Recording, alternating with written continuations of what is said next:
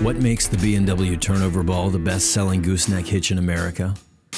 Maybe it's the beefy underbed mounting system, designed specifically for your truck.